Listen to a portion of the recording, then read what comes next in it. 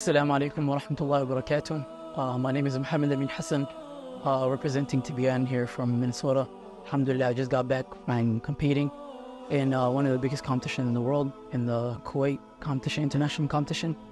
Uh, Alhamdulillah, Allah has blessed me uh, to be placed uh, number fourth among a lot of participants. Alhamdulillah.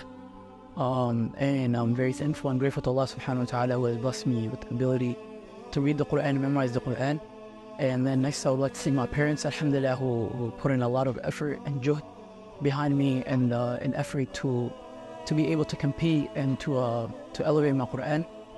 And uh, like to Shah Abdel Nasser uh, Muhammad Farah, uh, my ma'alim and my teacher for the past 10 years, um, who has put in a lot of effort and juhd into my Quran and my tajweed, my memorization. Um, alhamdulillah, he has been a, a backbone to um, to me and my achievements and my growth as a as a student and a, and a reciter of the Quran. Um, and alhamdulillah, I'd also like to thank my peers, my colleagues um, who have supported me, motivated me, my friends um, who are behind me, telling me that I can do this. And alhamdulillah, their du'as have paid off in their prayers. And for all the colleagues that were asking me questions in class and helping me, alhamdulillah, uh, I'd like to thank each and uh, one, each and single one of them. Uh, alhamdulillah. And um, inshallah, bi khair.